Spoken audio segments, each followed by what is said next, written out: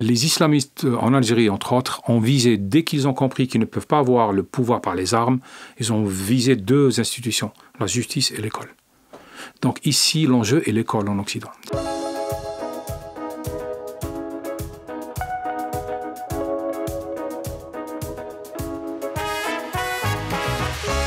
Bonjour à tous et bienvenue à un nouveau numéro de contact. Très honoré, je suis d'avoir avec moi en studio Kamel Daoud. Vous avez été très longtemps journaliste dans votre ville de cœur, Oran, en Algérie où la liberté d'expression doit être entendue avec évidemment beaucoup de précautions. Une fatwa a même déjà été prononcée contre vous. Vous êtes aujourd'hui lu dans Le Point où vous signez chaque semaine une chronique, un éditorial. Vous vous consacrez maintenant surtout à la littérature. Vous êtes d'ailleurs euh, un peu venu au monde dans nos vies grâce à un roman qui a été récompensé du concours du premier roman. C'était en 2015, Meursault contre enquête. Bonjour à vous, merci d'être là. Euh, j'ai constaté depuis quelques semaines que vous étiez non pas silencieux, mais qu'on vous sollicitait sans doute et que vous avez fait le choix de ne pas être trop présent euh, sur la place publique depuis le 7 octobre. Est-ce que le territoire serait miné? C'est l'impression que ça me fait aujourd'hui. Peut-être, mais bonjour d'abord à, vous et, à vos, auditeurs.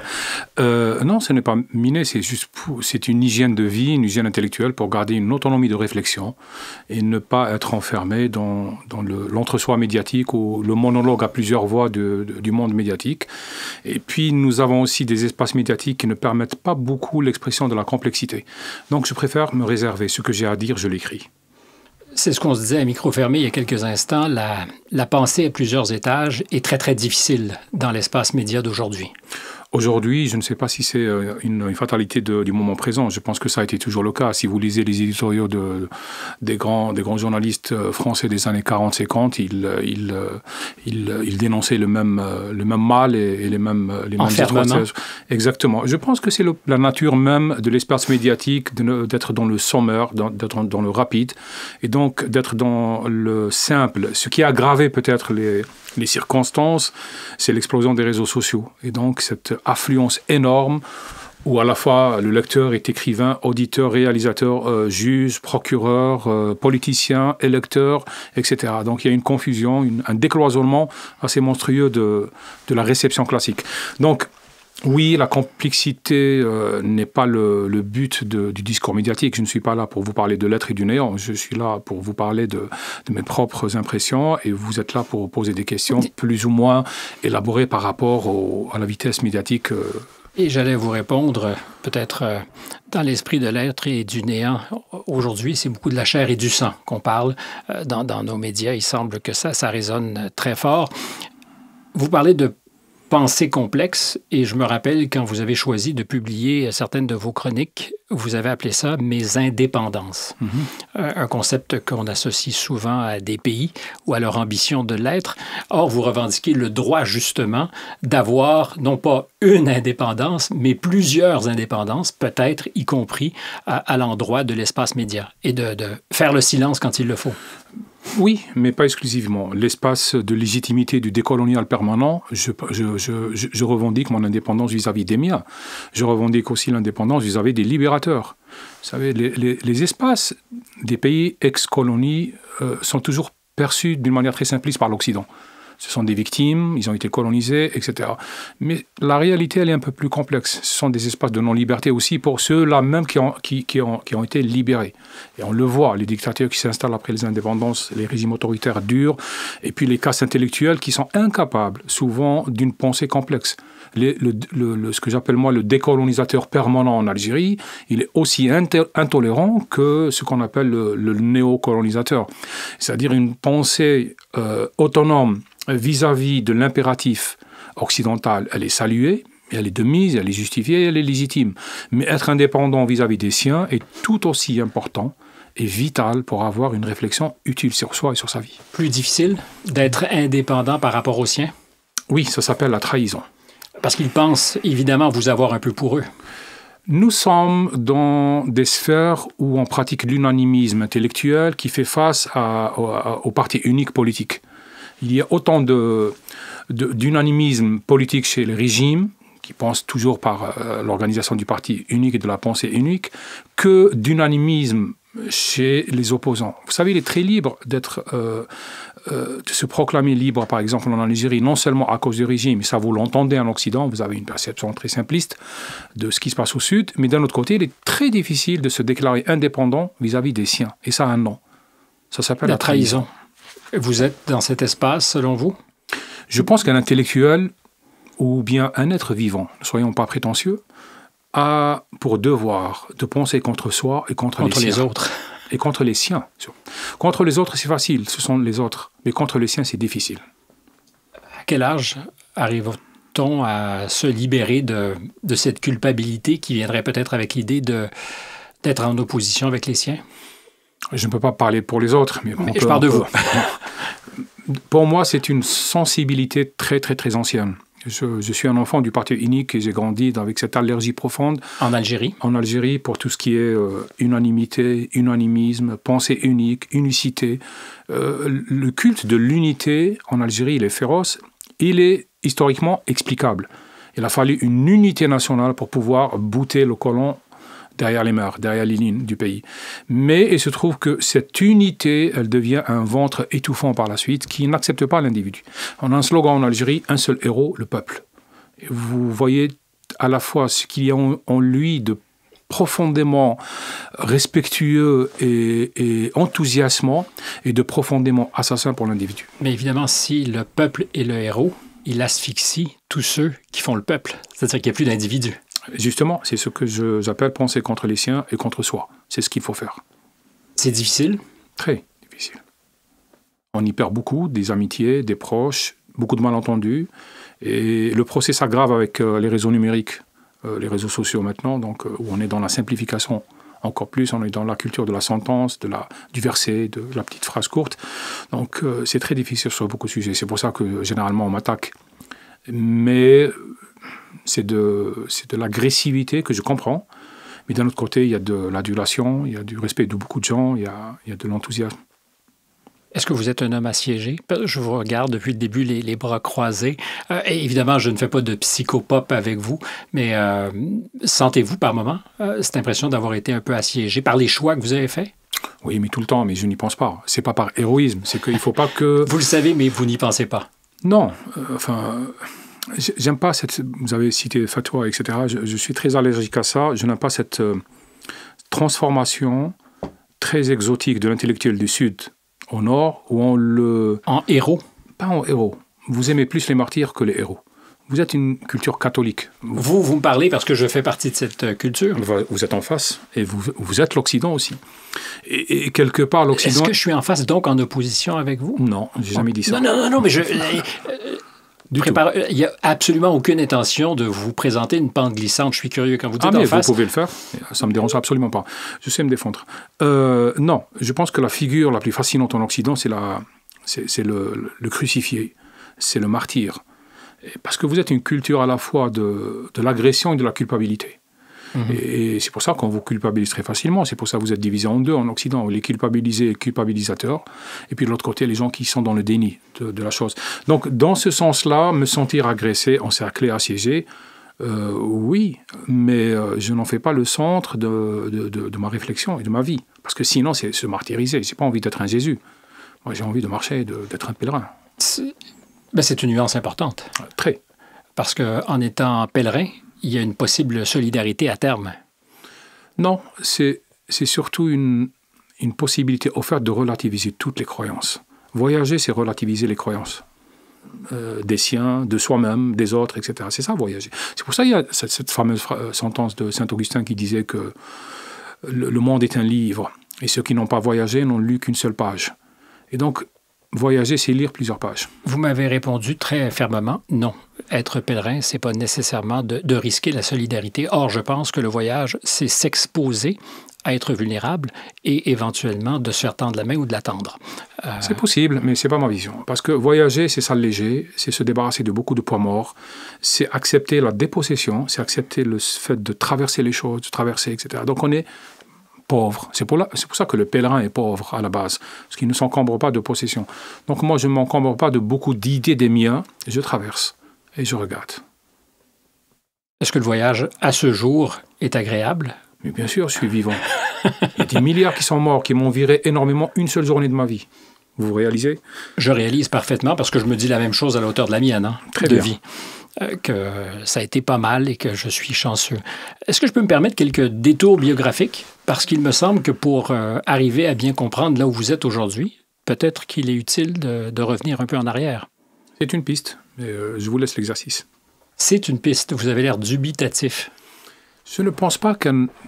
Je suis quelqu'un qui ne croit pas au déterminisme absolument. Je pense qu'on est déterminé, mais je pense qu'on a un petit pourcentage de liberté. C'est ce qui fait l'étincelle dans nos vies. Et la différence entre les individus, c'est-à-dire l'actualisation C'est qu'on ferait les de... 4% qu'on accepte de qu'on accepte de- de- d'ouvrir au doute et à l'autre. C'est vrai qu'on peut être déterminé. Mais vous savez, il y a des positions de confort. Je suis déterminé, on appelle ça le destin, le mektoub, ou comme vous voulez, ou socio- sociologie déterministe, ou une philosophie de matérialisme historique, etc. Donc là, on est déterminé. On peut, on peut être emporté. C'est c'est un voyage organisé. Mais il y a les 4% qui font que ce voyage n'est pas organisé. Ces 4% qui font que ce voyage-là, c'est aussi votre décision. C'est là où nous sommes des dieux. C'est sur les 4%.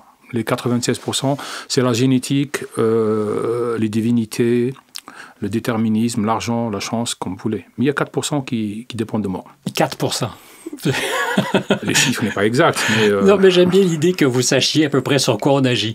Euh, Non, ça- le 4, c'est un peu les chiffres comme dans les comptes. On dit 1000, on dit 100, on dit 7 et on dit 4. C'est un chiffre symbolique pour signifier l'infinitésimal. et c'est à l'intérieur de ce 4% qu'on peut exercer un peu notre libre arbitre.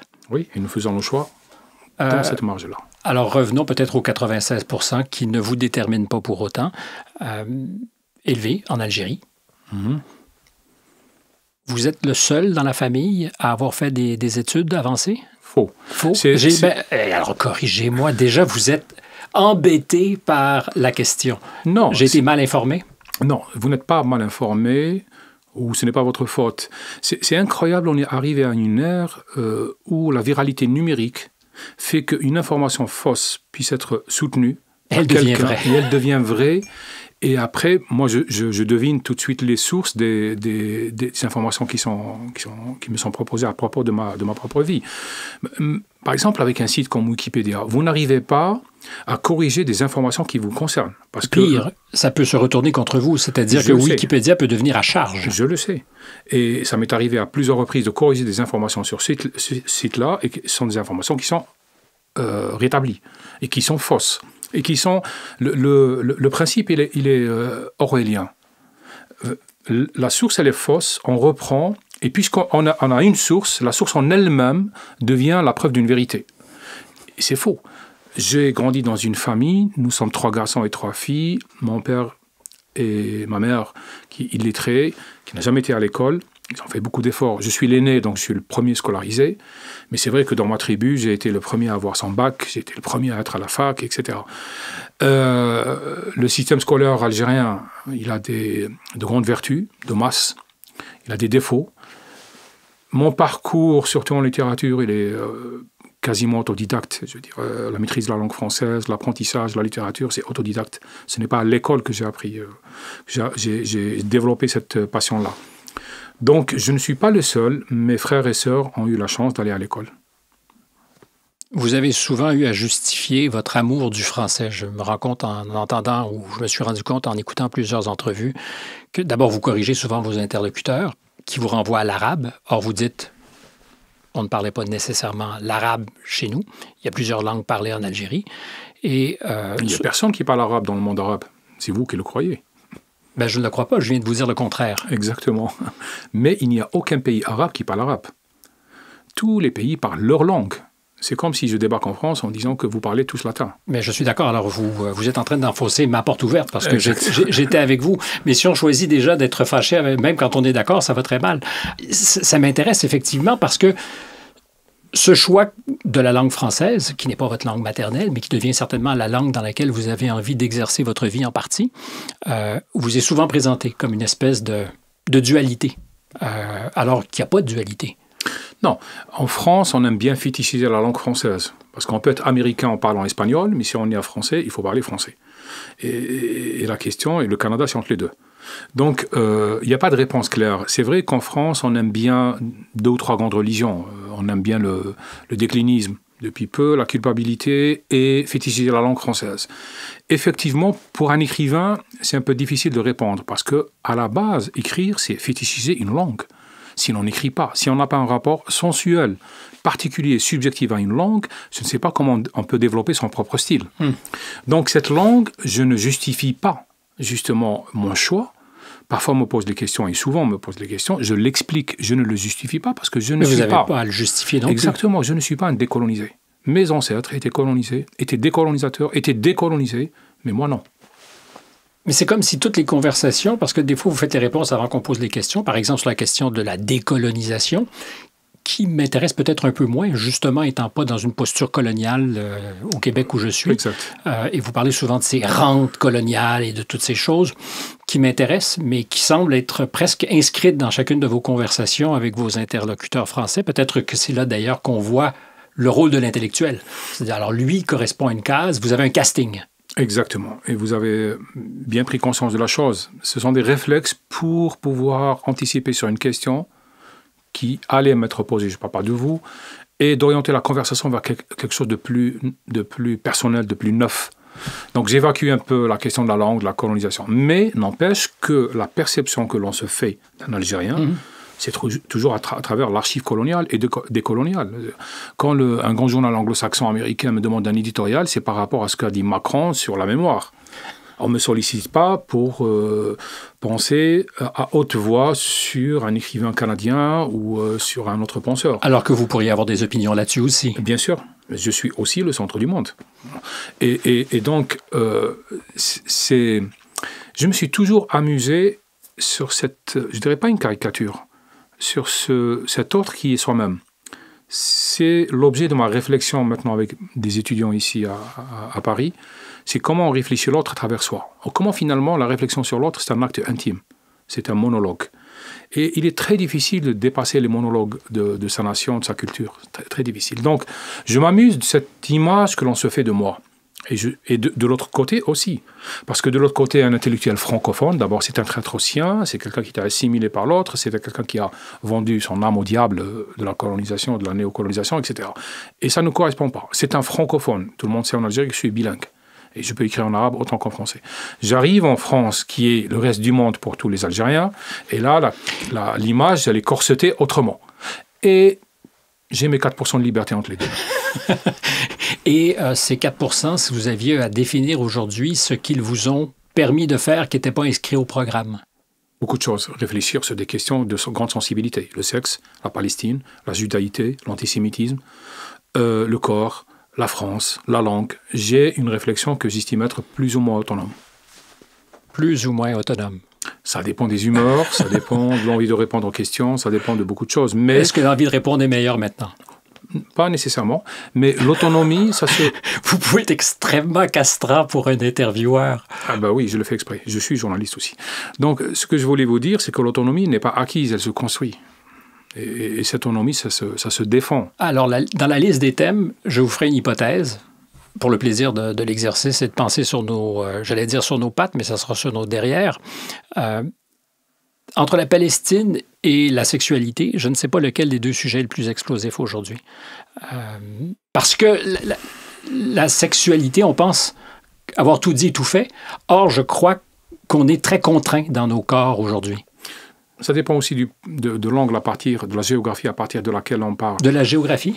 Oui. Ça oriente et de l'histoire.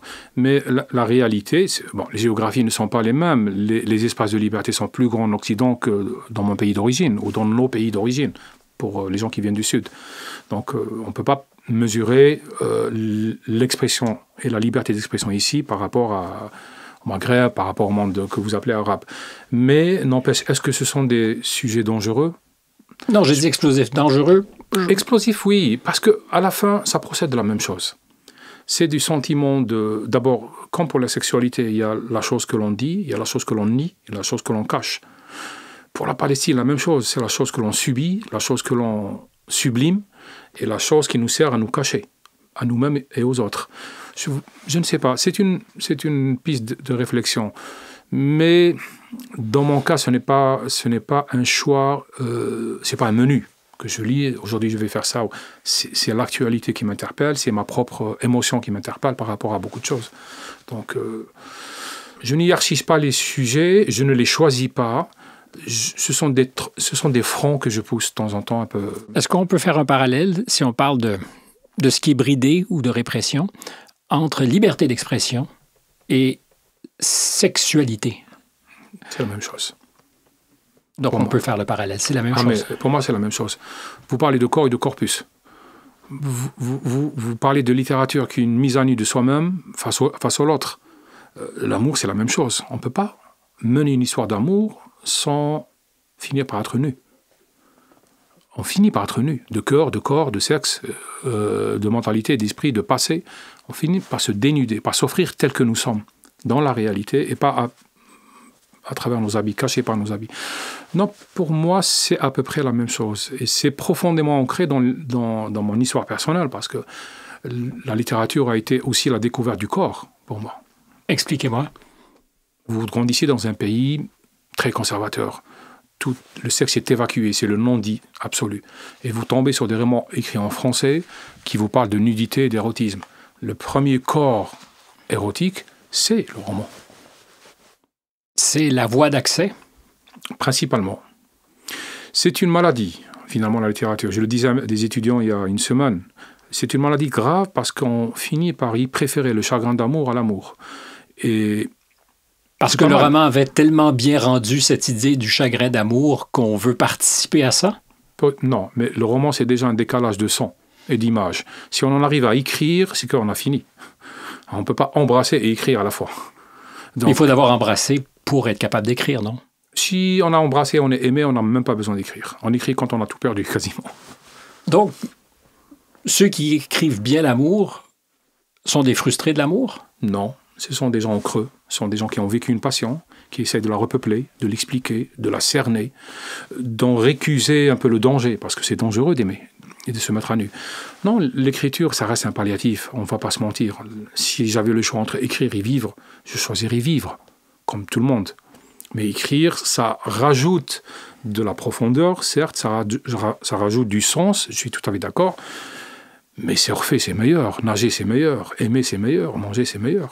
Qu'est-ce qui vous empêche de nager, surfer, aimer et d'oublier l'écriture qui pourrait être évidemment très douloureuse comme elle l'est pour plusieurs de ceux qui font ce métier? Peut-être que parce que je manque d'argent ou d'innocence ou de temps, je ne sais pas. Mais je beaucoup pense... plus de temps si vous n'écriviez pas. Non, c'est qu'on on est, on est des êtres qui ne sont pas coïncidents. Je sais pas, c'est Yourcenar qui décrivait, je crois, un chat ou un animal et qui disait cette capacité pleine qu'a l'animal d'habiter le présent absolu. Nous, nous sommes des, des êtres anachroniques. Nous nous correspondons que rarement au présent absolu, à un moment. Nous sommes, nous sommes des, des gens qui doutons.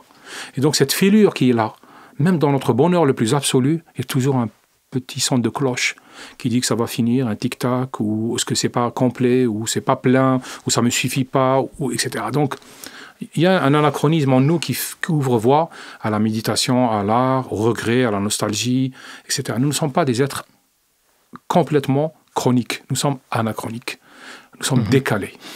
Je pensais, en vous écoutant, à Camus qui parlait de sa nostalgie. Vous parliez d'Algérie. Euh, êtes-vous frappé par moment par cette nostalgie non. Non, j'aime, j'aime, j'aime en Algérie deux ou trois choses. J'aime les miens. j'aime bien le, poème de Mahmoud Darwish qui disait euh, Le poème, ce n'est pas, je traduis euh, de manière très, très approximative, le, le, pays, ce n'est pas, euh, comme ils disent dans les radios, que sa chair est ma chair, que son cœur est mon cœur, que son sang est mon sang. Le pays, c'est lorsque je rentre chez moi en fin de journée pour prendre le café de ma mère.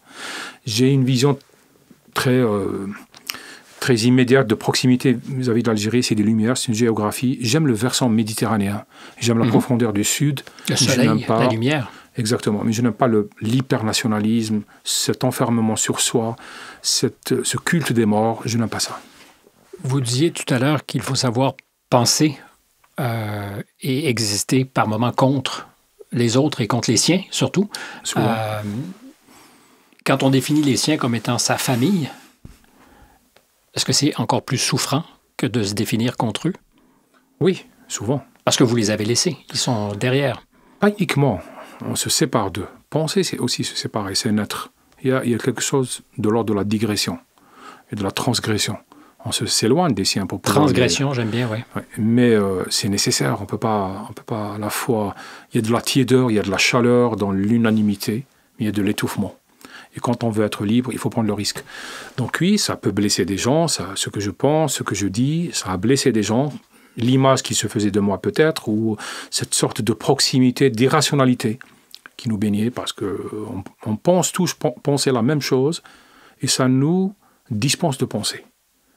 C'est beaucoup plus facile. C'est beaucoup plus facile. c'est normal. Et c'est normal, c'est humain. C'est humain. Être avec le, le grégaire, le troupeau, les siens, c'est normal, c'est sécurisant. Mais prendre sa machette et prendre un chemin de travers dans la jungle, c'est difficile, mais c'est exaltant. À quel âge le savez-vous que vous aurez à prendre la machette et à faire votre chemin de traverse? Dès que j'ai commencé à lire les premières histoires, vraiment j'avais 9 ans, je pense que je sentais déjà ce que Nietzsche appelle à propos de l'art et de l'artiste, il disait, il nourrit toujours une profonde intolérance vis-à-vis du réel. Et j'aime le mot intolérance dans ce cas-là. Il y a une sorte d'intolérance qui remonte à très très loin. J'aime la fiction, la narration, l'ailleurs, l'autre, l'île, l'insulaire, la mer, etc. J'ai toujours rêvé de déplier le monde plutôt que de me replier. L'île. C'est l'espace favori dans mon imaginaire. Je, je suis un- quelqu'un qui lit, relit les, les Robinsonades partout où elles se trouvent. Je vous vois très bien en Robinson dialoguer ou dialoguant avec votre vendredi. Euh, je le serai pour aujourd'hui, même si on est jeudi, je serai votre vendredi. Euh, c'est un arrachement, se faire violence à soi, que de choisir de prendre sa machette et de se faire un petit chemin à justement à soi. Je ne sais pas. Vous ne savez pas? Non, je ne sais pas répondre avec le mot précis. Dire arrachement, c'est m'octroyer un statut de martyr et de héros, je n'aime pas ça. Mais dire que c'est exaltant, oui. Que c'est coûteux, oui. Que on a... Moi, je parle d'un principe très simple et je le dis souvent à mes enfants. Quand on entre dans un restaurant, on prend le menu et on regarde. Et on choisit en fonction de ce qu'on a comme argent. Et on paye. Toute liberté se paye. Donc ça dépend qu'est-ce que vous voulez payer pour, pour ce que vous voulez avoir.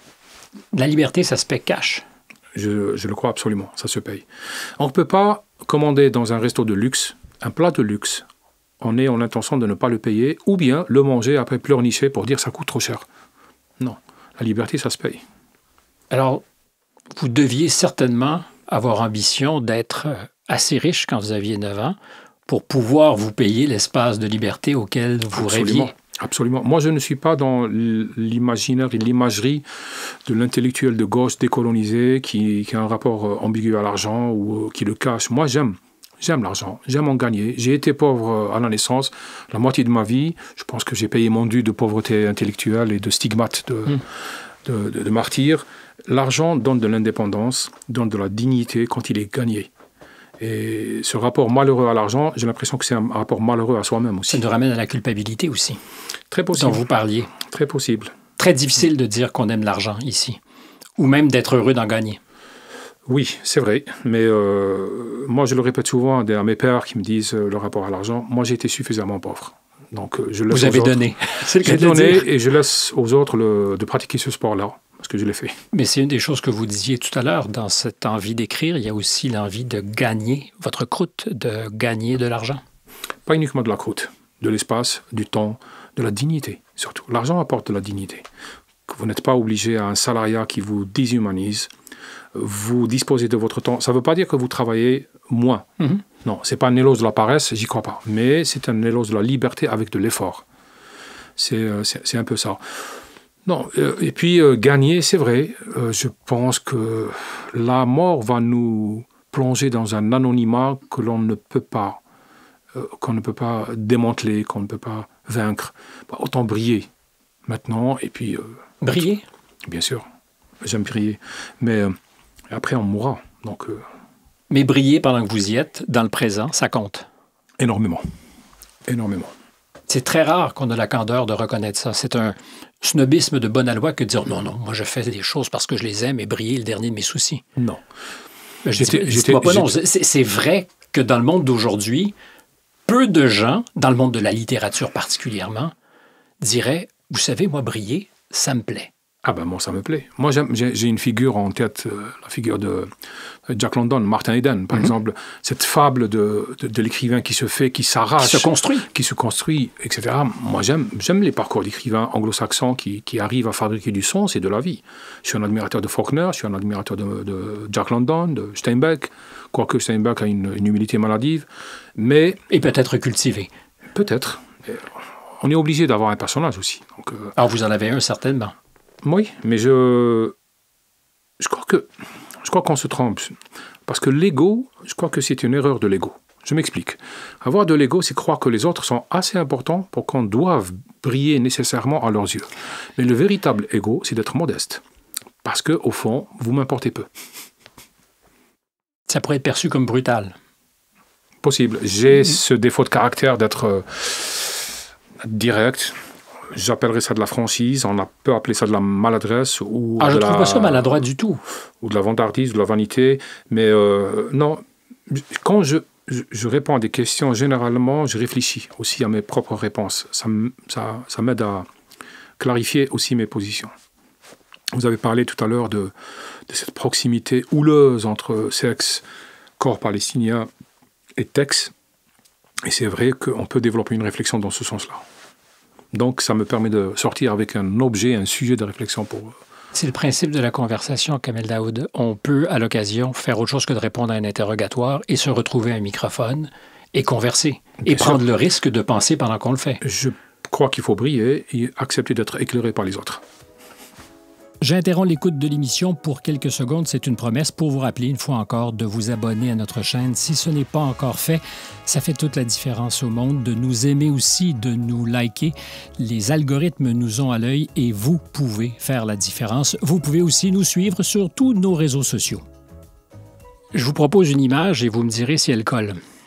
En vous écoutant, je retourne à l'enfant de 9 ans et je vous assure qu'on ne fait pas un exercice de thérapie ici je me dis, le, le chat de l'aiguille était très mince pour que l'ambition que vous aviez, le projet de vie, vous fasse passer au travers. C'est-à-dire qu'il aurait pu y avoir mille circonstances pour que vous loupiez ce rendez-vous avec votre destin, mais que vous soyez assez lucide pour savoir que vous l'avez loupé.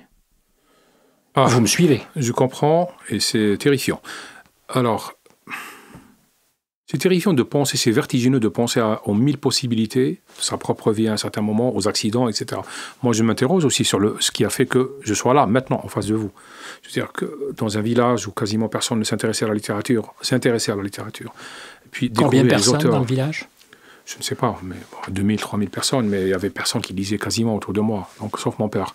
Et mon père ne vivait pas avec nous. Donc, euh, ce n'est pas ça. Je pense que la vie de chacun procède de, cet ajustement du miracle qui est perpétuel. Et à un moment, c'est vrai, je reviens à mes 4% fétiches, et à un moment où l'on fait ce choix-là. Alors, est-ce qu'on est aidé? Est-ce que parce qu'on est porteur du rêve d'autrui? Est-ce qu'on on exauce finalement dans la lignée parentale, on exauce le rêve d'expression d'une mère ou peut-être d'un père? Je ne sais pas. Je n'ai pas envie de trop m'attarder sur ça. Mais si vous posez la question rhétoriquement, c'est qu'elle vous a effleuré l'esprit, cette idée d'accoucher de quelque chose pour ceux qui vous ont précédé. Non, c'est une des rares découvertes de ma vie, dans le sens où j'ai compris à 40 ans qu'il est extrêmement rare de trouver des personnes qui définissent leurs propres rêves. On est souvent porteur des rêves d'autrui, souvent ceux de nos parents ou de nos proches. Mais identifier son vrai rêve, c'est un sujet de roman. Mais identifier ce rêve-là, euh, dans son autonomie, dans son individualité, dans, cette sorte de, de seul absolu, de propriété absolue, c'est très, très, rare. Il y a des gens qui traversent la vie avec le rêve d'autrui, jusqu'à la fin. Et, et, donc, l'idée d'avoir son propre rêve, de le définir et de l'exprimer, c'est l'entreprise de la moitié d'une vie souvent. Et vous le saviez tôt qu'il y avait un rêve peut-être pas défini comme vous étiez en mesure de le faire à 20 ans ou à 30 ans, c'est vrai. Est-ce que c'est un sentiment de destin? J'aime pas le mot parce qu'il peut renvoyer à quelque chose justement d'héroïque, mais... Non, c'est possible. C'est possible parce que, encore une fois, je reviens à Nietzsche. C'est un, un d'abord un sentiment. On conceptualise à 30 ou 40 ans. Mais au début, c'est une sensation, un sentiment, une envie d'eux. Alors, cette envie, on la nourrit ou on la tue. Euh, est-ce que c'est une question de courage ou d'accident? Je ne sais pas. Mais, euh, mais c'est vrai qu'une passion, ça se nourrit ça se découvre tôt Ça s'oublie, souvent. Et puis, euh, on peut y revenir à partir de 40 ans, 50 ans. Vous connaissez peut-être comme moi des parcours à 50 ans, on dit non, ce n'est pas ma vie, c'est la vie de quelqu'un d'autre. Je crois que j'ai toujours eu cette envie, depuis peu d'ailleurs, je dis toujours c'est depuis peu, depuis 10 ans, 15 ans, d'écrire une histoire dans ce sens-là. Ou comment on bascule un jour et on est confronté à son propre rêve. Ou comment on l'identifie? Il faut des années pour identifier son propre rêve. Vous le sentez mieux, ce rêve aujourd'hui? Vous le cernez mieux? Je le cerne mieux dans son envie, je le cerne moins dans ses raisons.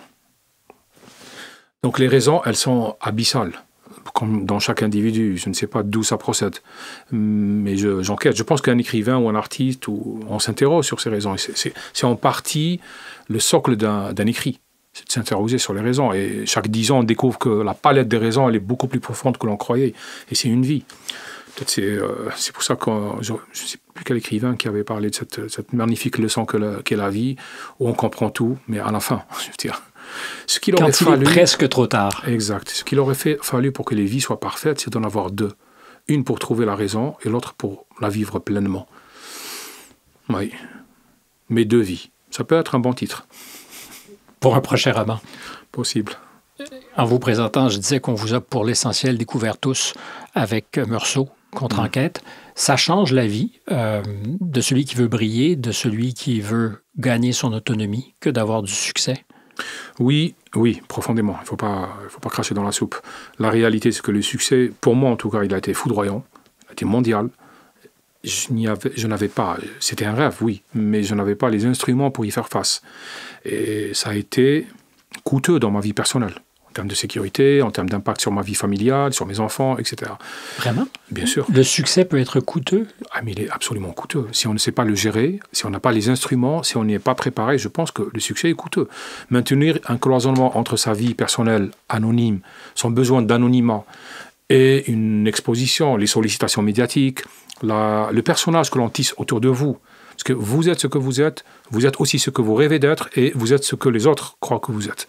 Et tout ça, c'est, ça fait quand même beaucoup de monde pour une seule, euh, une seule peau. Et, euh, c'est, ça. Bon, Meursault, ça a été foudroyant.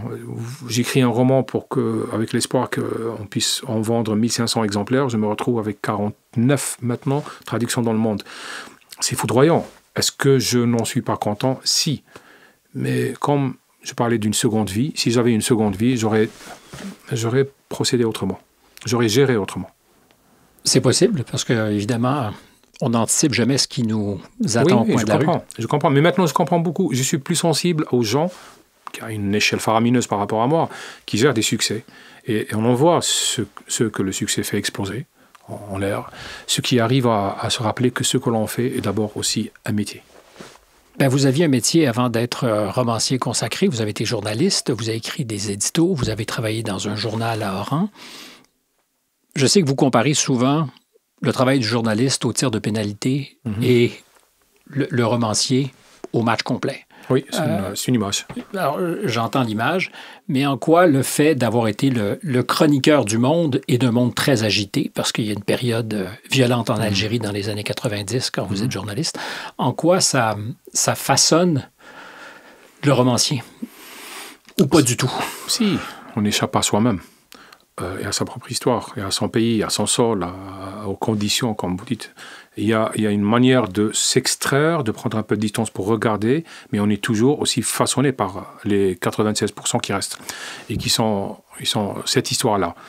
Alors, l'Algérie, ça reste une histoire pour moi, c'est ma propre histoire. Mais tout l'art consiste à ne pas être uniquement algérien dans la littérature c'est comment être indépendant, encore une fois, vis-à-vis du récit des siens. Comment l'interroger, comment le transformer. C'est un récit que vous avez même raconté, participé à raconter dans, l'actualité. Oui, mais c'est pour ça que j'en viens à cette conclusion, pour développer l'argumentaire, c'est qu'on est marqué par, euh, par ces circonstances de naissance aussi, je, parle de naissance littéraire. Prenez des écrivains américano nés dans les conjonctures de dictature mhm. des années 70. Ils ont été souvent journalistes comme moi, parce qu'il fallait gagner sa vie la littérature en Amérique latine à l'époque, ça ne pouvait pas nourrir son homme. Je veux dire, euh, c'est hasardeux comme choix professionnel et de vie. Prenez Camus. dans les années 40, éditorialiste. Il travaille à combat dans le, le, journal algérien, c'était la, République, je crois, ou enfin j'ai oublié. donc, ce sont des, écrivains qui ont été façonnés par l'exercice éditorial des journaux. prenez un écrivain moderne en Espagne, Cercas, Javier, qui a été chroniqueur longtemps.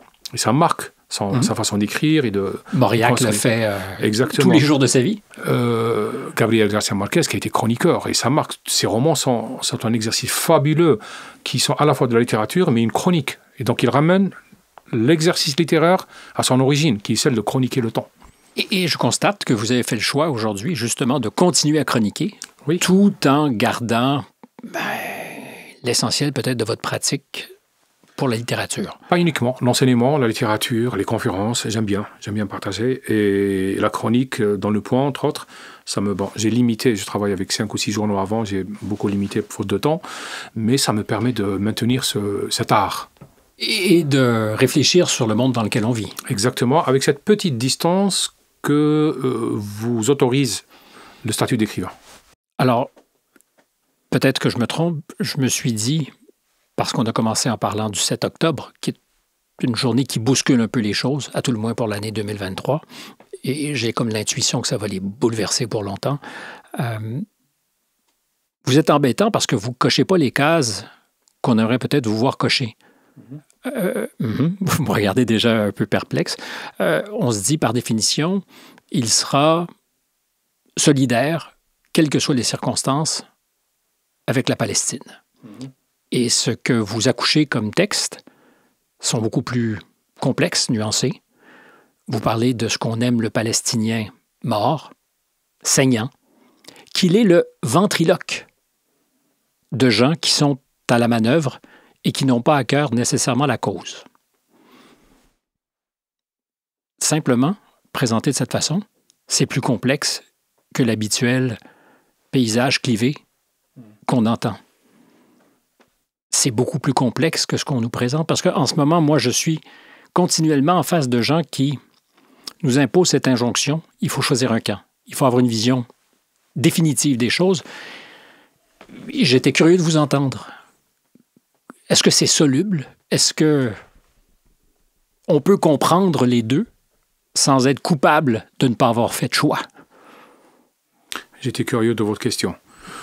Euh, de la formulation de votre question. Moi, je ne suis pas un spécialiste ni de la Palestine ni d'Israël. Je n'ai jamais été là-bas, donc je ne peux pas en parler. Et je m'interdis d'avoir une opinion sur le corps des autres quand ils sont engagés dans des questions de vie ou de mort. Je n'ai pas été du côté israélien le 7 octobre et je n'ai pas été du côté des Razaouis maintenant. Donc, je m'interdis beaucoup de choses. Mhm.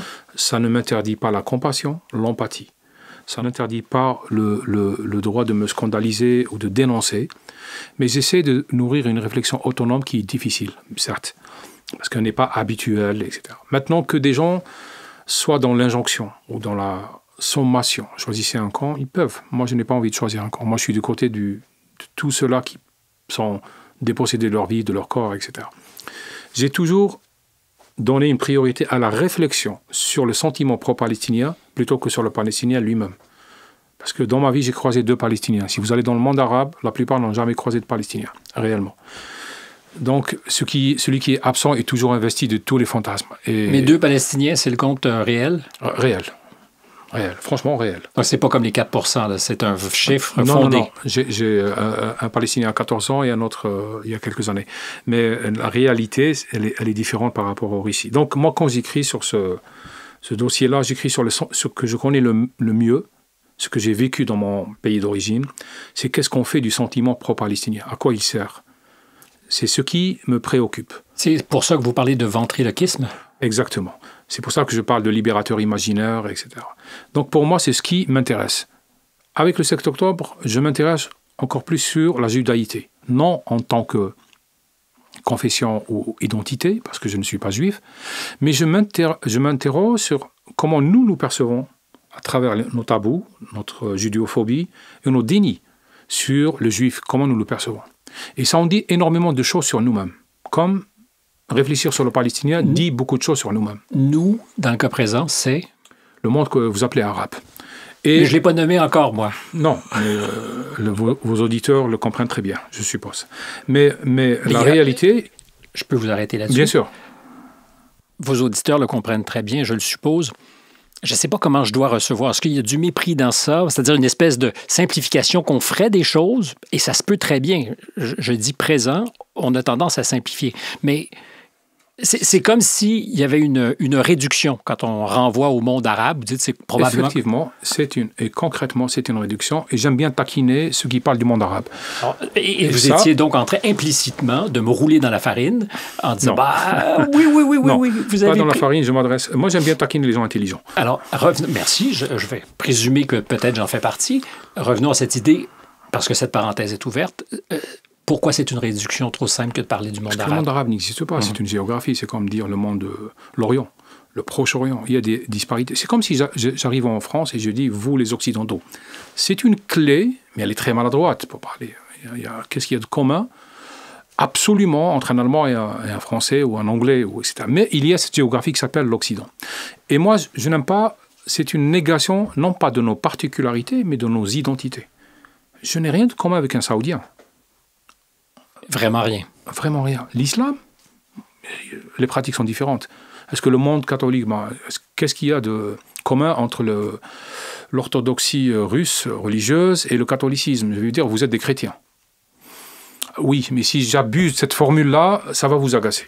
C'est pour ça qu'à un moment, je ne peux pas supporter celle du monde que vous appelez arabe il y a les Saoudiens, il y a les Algériens, il y a les Jordaniens, il y a les Marocains, il y a les Maghrébins, etc.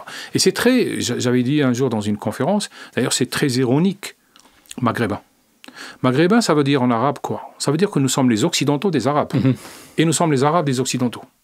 Donc vous voyez, on est quand Question même... Question de point de vue. Question de point de vue et de lieu, surtout.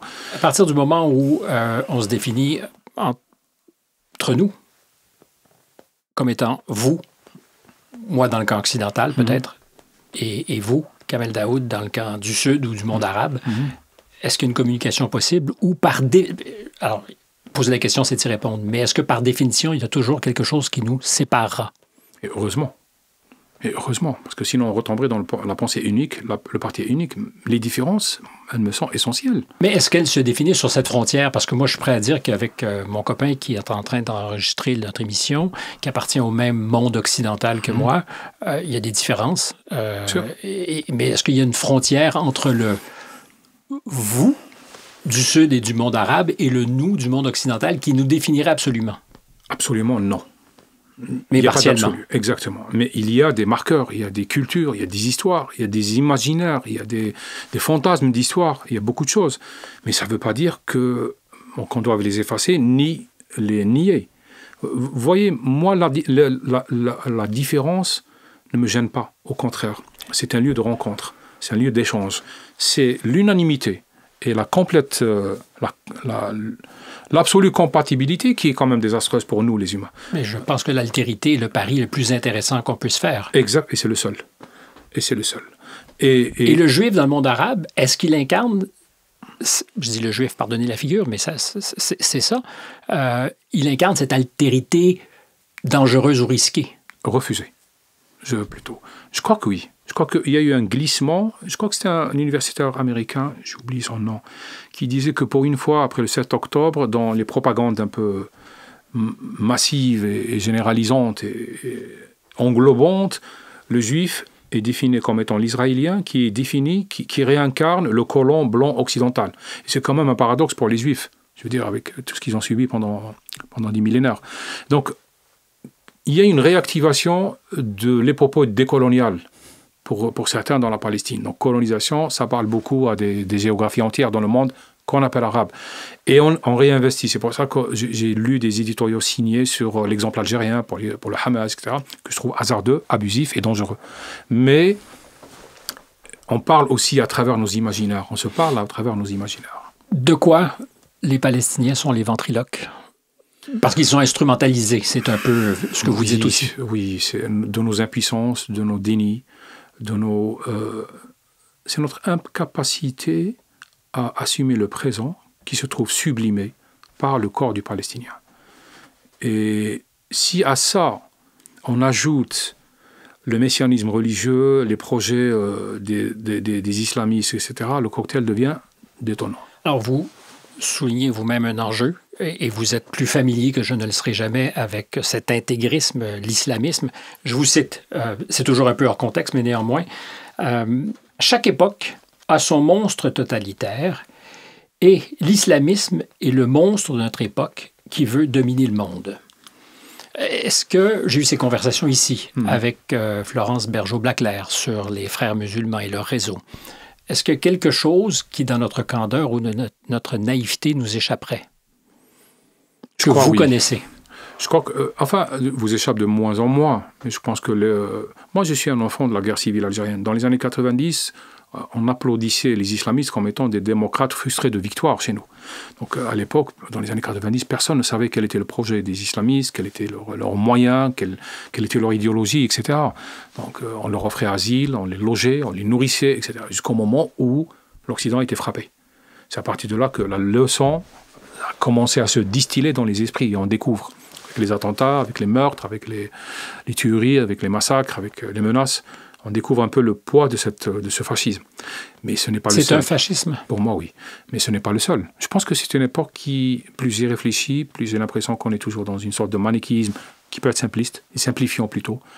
Mais il y a des radicalités un peu partout, avec des moyens différents, et avec des prétextes différents. Et de l'autre côté, il y a des gens qui essaient de défendre la précarité, le doute, l'hésitation, l'humain tel que nous sommes. Donc, pour revenir au cas islamiste, n'oubliez jamais, moi je suis un enfant d'une guerre civile qui a fait officiellement 200 000 morts, avec un million de déplacés. Et je ne peux pas euh, percevoir, comme beaucoup d'Algériens, ce qui se passe en Occident sans être dans une sorte de remake permanent. Ils font des erreurs que nous avons faites et qu'ils peuvent éviter, par exemple. Et c'est une obsession chez beaucoup d'Algériens. Beaucoup ne le disent pas en on, mais en off. Alors dites-moi. Ne, faites pas ça, ne faites pas ça, ne faites pas ça. Alors dites-moi en on ce que nous ne faisons pas. Protéger l'école. C'est en premier. C'est en premier. C'est vraiment la tranchée où se jouent les républiques et les démocraties. C'est l'école. Les islamistes euh, en Algérie, entre autres, ont visé, dès qu'ils ont compris qu'ils ne peuvent pas avoir le pouvoir par les armes, ils ont visé deux institutions, la justice et l'école. Donc ici, l'enjeu est l'école en Occident. Si d'ailleurs au Canada aussi surtout au Canada. Parce que vous avez, euh, ici on a la culpabilité coloniale, j'ai l'impression qu'au Canada, j'abuse, et vous m'excuserez, une sorte de culpabilité communautaire. Donc... Euh, et qui est tout aussi agissante. Bien sûr, et qui profite des brèches. Des brèches, et pour moi, l'école, c'est quelque chose d'important. Le livre, la culture, le manuel scolaire, l'école, l'impératif de laïcité, tout ça, c'est très important. C'est un enjeu décisif. Ça se jouera à l'école et ça se perdra à l'école. Mais c'est comme si, par moment, justement, cet objectif de laïcité euh, nous faisait mal, comme si on imposait, comme si c'était une forme de totalitarisme sans jamais mesurer que toutes les brèches qui restent ouvertes seront comblées par des gens qui n'ont aucune ambition à la laïcité.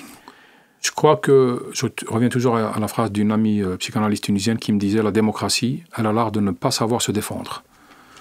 Et, pourtant, c'est ici qu'on vient trouver refuge. Oui, justement. Et c'est la seule solution que nous avons. C'est la démocratie occidentale. Tous les gens qui viennent de, des géographies du Sud et dont le métier, c'est de faire le procès permanent euh, de l'Occident, je n'ai jamais adhéré et je l'ai toujours proclamé. Et c'est ce qui a poussé beaucoup de gens à me condamner pour euh, servilité occidentale. Non, nous n'avons que l'Occident. C'est la seule branche sur laquelle nous sommes assis. On ne va pas la couper. Maintenant, pour revenir à, la laïcité, la laïcité, il faut toujours peut-être l'inverser, dans le sens où ce qui protège le mieux une religion, c'est la laïcité. C'est l'équation qu'il faut renverser.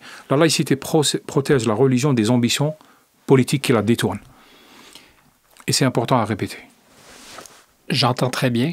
Euh, aussi dans ce que vous dites, parce que vous l'avez déjà souligné parlant de la guerre en Ukraine, par-delà les responsabilités de part et d'autre, il y a une certitude, c'est la liberté, mutatis mudandis, est incarnée dans l'Occident. Et que, pour l'instant, à ce jour, on ne voit pas beaucoup de réfugiés partis du Sud cogner à la porte de la Chine ou cogner à la porte de la Russie. C'est ce que je dis souvent aux gens qui font le procès permanent et absolu de l'Occident. Les seuls qui soient sincères, ce sont les migrants clandestins. Eux, ils savent où se trouve le salut. Les Syriens, quand ils ont fui, Ils ne sont pas partis en Arabie Saoudite à l'époque, ils sont partis en Allemagne. Je me rappelle très bien cette phrase dans un entretien qui a été fait euh, dans Le Point, un entretien qui a été fait dans Le Point, publié par Le Point, qui m'a bouleversé, je pense, qu'à l'époque, il y a trois ou quatre ans. Euh, le journaliste est parti sur place dans les villes kurdes pour interviewer les prisonniers Daesh. C'était des éléments de Daesh qui étaient emprisonnés par les Kurdes. Et cette phrase qui est scandaleuse, tragique, comique, euh, c'est l'un des petits lieutenants, quand le journaliste lui pose Qu'est-ce que vous allez faire maintenant? Il a dit Je vais essayer d'envoyer mes, mes enfants en Allemagne pour qu'ils aient de l'avenir. Vous imaginez? C'est tout est, dit. Tout est dit. Je n'ai pas beaucoup de choses à ajouter. Donc, pour le reste, vous pouvez retrouver l'entretien euh, qui est paru, il y a, le reportage plutôt, il y a trois ans peut-être. Mais euh, cette phrase, elle m'a. Comment dire Elle est spectaculaire, comique, dangereuse, terrifiante, scandaleuse, immorale, tout ce que vous voulez. Ce que des idéologues peuvent être. Moi, je crois que je définis toujours un pays, c'est là où on voudrait voir grandir ses enfants. C'est pour ça que les Algériens rêvent du Canada aussi. Ça parce qu'on a l'idée d'un pays de liberté. C'est une France sans la colonisation, comme je l'avais écrit un jour, et, sans les grèves. Mais, euh, mais la réalité, c'est que l'Occident, c'est tout ce que nous avons. L'Occident n'est pas juste, ni injuste. Il est ce qu'il est.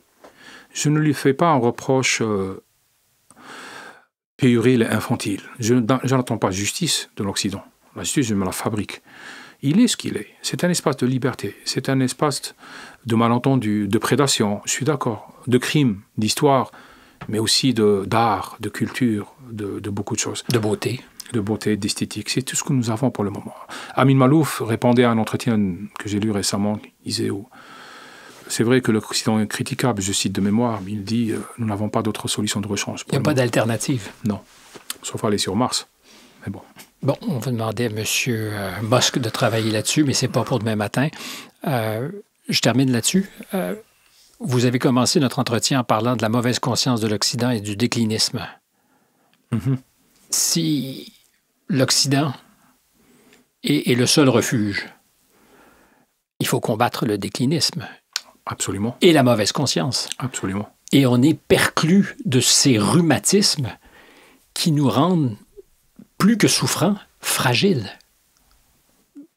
Alors, à l'homme du Sud, qu'est-ce qu'on doit faire pour guérir cette maladie? Assumer. C'est tout. Il y a une histoire, bien sûr, une histoire de prédation, bien sûr, de colonisation, de crime, bien sûr. Il y a euh, quelque chose qui, ne, qui va mal dans le monde, mais le monde est ainsi fait. Mais d'un autre côté, l'Occident, il est là pour accueillir, pour donner refuge à des gens comme moi, pour donner de incarner la liberté autant que faire se peut, dans les limites de l'humain, dans les limites du malentendu humain. Mais, mais assumer l'histoire et ne pas céder à la culpabilité, parce que vous avez en face et en vous et chez vous des ingénieurs de la culpabilisation. Et ils le savent très bien. Qui travaillent là-dessus. Bien sûr. C'est euh, comme pour la construction d'un roman. Vous avez le protagoniste, il y a l'antagoniste qui connaît sa faille. Et, et ça, ça c'est clair. Alors, Là aussi, c'est un discours très précaire. Si vous dites ça, on va penser que vous êtes dans une attitude de quémandeur vis-à-vis de l'Occident ou clientéliste. Non, je ne le suis pas. Je, peux parler maintenant de ce, que, ce qui me manque, ce qui m'éblouit, et je peux parler plus tard de ce que je n'aime pas, et je le fais. Mais n'empêche que l'enjeu est énorme. Si l'Occident s'effondre, où pouvons-nous aller, nous? Il n'y a pas d'autre endroit, malheureusement. Il y a pas, il y a pas Donc, assumer, pour moi, c'est une... Il n'y a pas de sortie de secours. Il n'y a pas de sortie de secours. Il n'y a pas de seconde vie. Donc, assumer les erreurs, mais assumer aussi les vertus. Oui, je pense que c'est une belle façon de mettre un terme à cette conversation. Le mot vertu, oui, pourquoi pas? Vous aurez le dernier mot Ah non, jamais. jamais. Ça s'est finalement bien passé? Euh, Je ne sais pas, c'est à moi de vous poser la question. Moi, je suis très heureux. Ah bah très bien. J'étais très honoré que vous ayez accepté et que vous ayez joué aussi un peu. J'aime bien, mais parce que ça permet aussi de ne pas s'ennuyer quand on joue. Je ne suis pas ennuyé. Moi non plus. C'est la, chose que je voulais entendre. Merci à vous et merci à vous qui nous avez écoutés. Si vous avez apprécié l'exercice, s'il vous plaît, partagez-le. Ça fait de grosses différences pour nous. L'œil de l'algorithme est toujours très attentif, donc aimez-nous, likez-nous pour parler en mauvais français. Je rappelle que cette émission est le fait de quelques collaborateurs. Jeanne Croteau est notre réalisatrice. Marianne Grenon est à la recherche. Stéphane Bureau au microphone. À très bientôt. Et à vous, encore une fois, merci. Merci à vous.